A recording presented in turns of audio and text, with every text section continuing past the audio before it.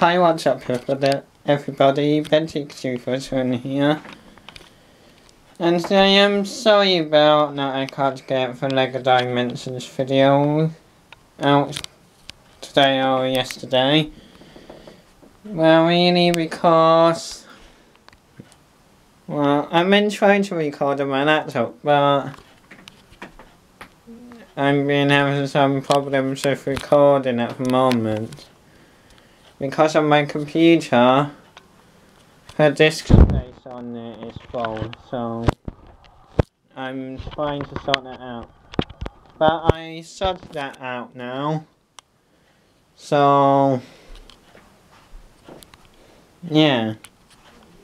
So, you won't be getting yesterday's LEGO Dimensions video today, so I'm doing it next Sunday.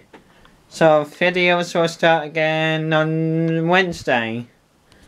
Wednesday this week, so that's pretty much the update. Well, I consider it an update.